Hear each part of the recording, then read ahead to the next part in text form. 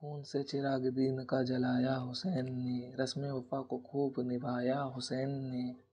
खुद को तो एक बूंद ना मिल सका, करबला को खून पिलाया हुसैन ने। ऐसी नमाज़ को कौन पढ़ेगा जहाँ में सजदा किया तो सर ना उठाया हुसैन ने।